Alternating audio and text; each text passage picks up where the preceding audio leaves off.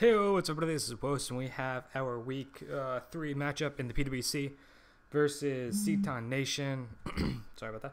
Seton Nation uh, and the Lehigh, Van- Lehigh Valley Phantumps.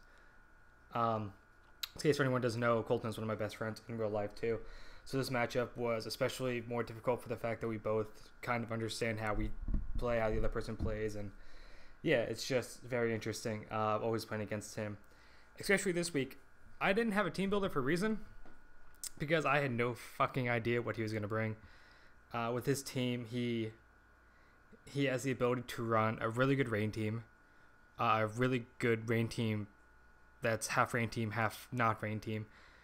He's a really good normal team. Then he has uh, the ability to run a hail team too. Um, so it's just ridiculous. So I had no idea what he was going to bring. I kind of had to make a team that I thought would be able to play well against any sort of variant that was going to come. I didn't think he was going to bring weather. Genuinely didn't did not. Um, I knew he wasn't going to bring hail. Uh, Beartic's just too slow, even with the um, ability Slush Rush. Um, I didn't think he was going to bring um, Rain for the fact that I did pick up Ludicolo and dropped uh, Comfey. But I needed to bring it. I didn't want to bring Ludicolo. I did not want to. But I needed to just in case he brought rain, because if not, there was no way I was going to get swept by it. So this is a very difficult matchup to play um, with him. To our team, we have AV Gardevoir that's bulky, uh, running Trace, which I can possibly take advantage of. Trace with a couple of his mons, uh, which is another reason I didn't think he was going to bring Weather, because I have the ability to Trace their Swift Swim or Slush Rush. Um, I have on it Psychic, Moonblast. Um, give me a second. I completely forget everything. Uh, he, AV, Broad Trace, Moonblast, Psychic, Energy Ball, and HP Steel. That was for um, mainly the Alolan Ninetales. Get off a little bit extra damage with it because I didn't really have a fourth move I needed to run. We also have Celesteela running Life Leftovers. Um, EQ, Heavy Slam, Seed Bomb, and Leech Seed. This is uh, max defensive. This is take on things like uh, the Mega Swampert, Kabutops, stuff like that. The, his physical uh, sweepers.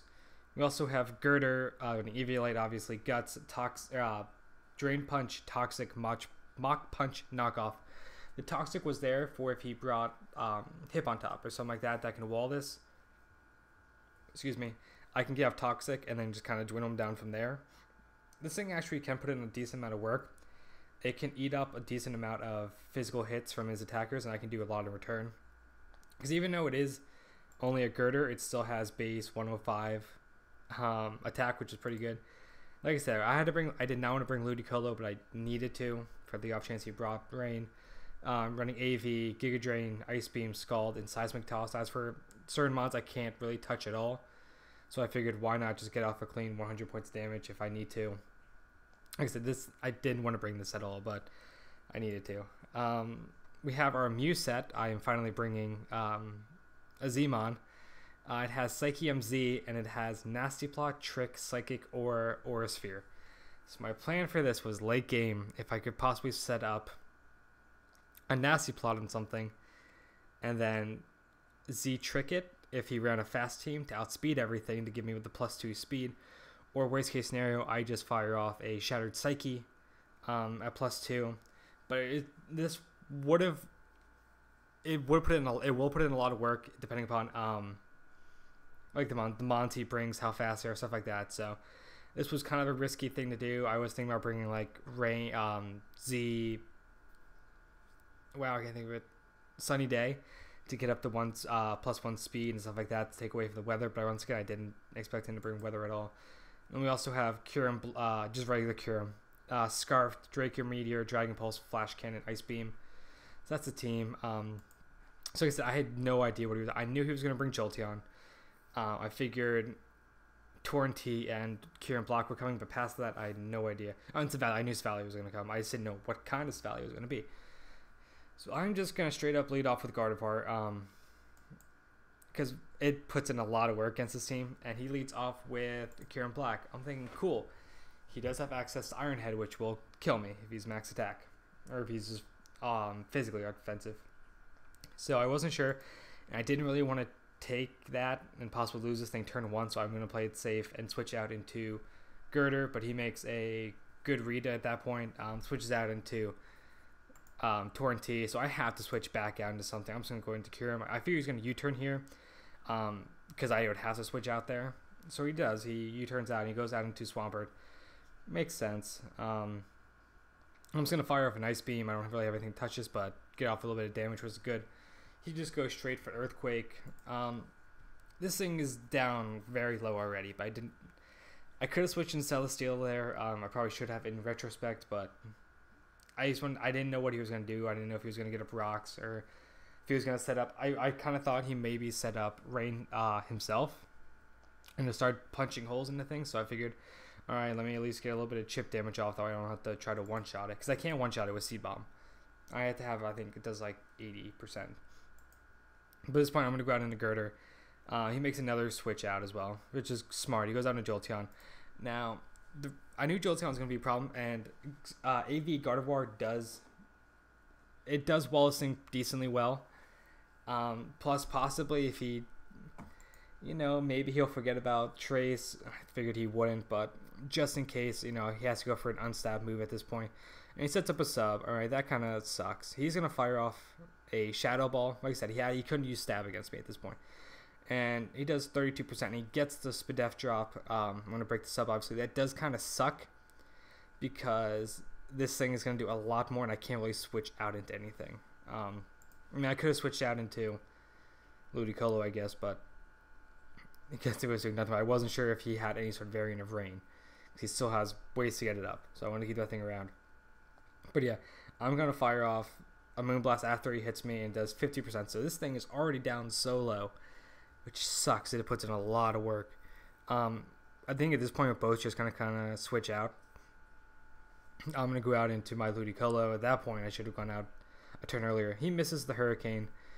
Okay, yeah, I predicted him to switch out though, so Ice Skull. I could have Ice Beam and got off a lot more damage.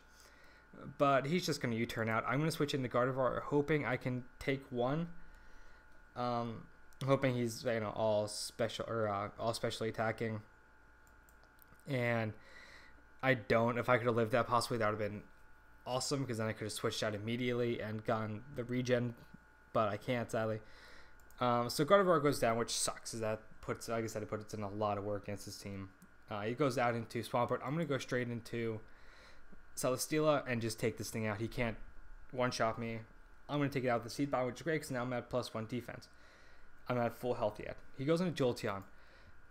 I'm gonna stay in here. I can take this thing out right now and he would have to crit me to be able to because I know he's not specs. He would have to either be specs or get a high uh, life orb roll, which I know he's not life orb.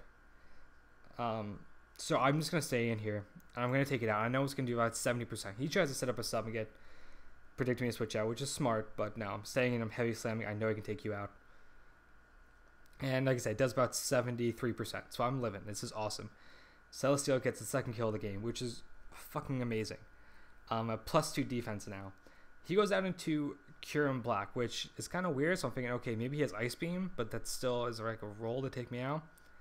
Uh, he goes for Fusion Bolt. Yeah, that does not take me out because I have plus two defense, and he's running a little bit of bulk. I can know that now because he doesn't even two shot him. Uh, I can't really switch out anything. Celesteela is going to stay in here, just go down to Kyurem, which is just a smart play on his part to not over predict me. I'm gonna go straight into Gurdurr and fire off a um, Drain Punch at this point. I figured this was gonna come in or Tornadus, but I don't really have anything to touch either one of them. It does 61%, which is awesome. So I'm at full health, and here's where it kind of goes downhill. He sets up an Aurora Veil. So shit. Um, everything's halved, I think. Something like that.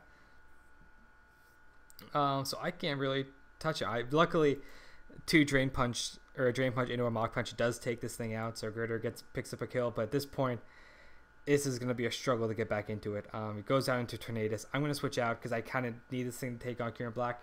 Go on to Ludicolo. Um, maybe he'll miss. He doesn't. He hits his time. He does so much damage to me.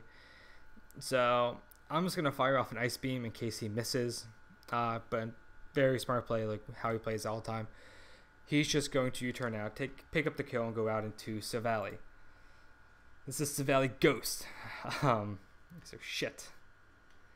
I'm gonna go into my Mew here because hoping that he's defensive, like physically defensive, and I can possibly start setting up and getting my shit off. At this point, though, the only thing that outspeeds me is uh, possibly Kyurem that I can outspeed. Uh, Torrentee obviously does. So I'm going to set up a nasty plot. He's going to fire off a Shadow Ball, and that almost takes me out. So holy shit. The one week he brings an offensive Silvally. I was like, God damn it, Aurora Veil's up. I, I need a crit here on the Shattered Psyche to take this thing out, and then probably won't really have a chance at that point. He doesn't, uh, which is fair. And instead, he takes me out, so shit. This is not looking good. I had to go out into Kyurem, and I had to fire off a Draco with the Aurora Veil up, it just really ticked me over this week. Um, once that got up in these late games, I couldn't do that much damage to him. So it, he's going to pick up a win here. I'm just going to let you know right now, as you can probably guess, between my two last mons. Um, yeah, he fires off Sludge Bomb. It's a good game on Colton. Played it very well. This week, it was just so hard to prep for that I had to bring stuff that I didn't want to, knowing he wasn't going to bring. Like I said, I knew he wasn't going to bring rain. I had to bring it though. Um, it's just a really, really well thought out team on his part. Um, so that's good game, Colton. Uh, we will be back next week with our week four matchup. Uh, hopefully, we should be able to win that one. I think we have a pretty good chance of winning it. Uh, but yeah, thanks for watching and peace.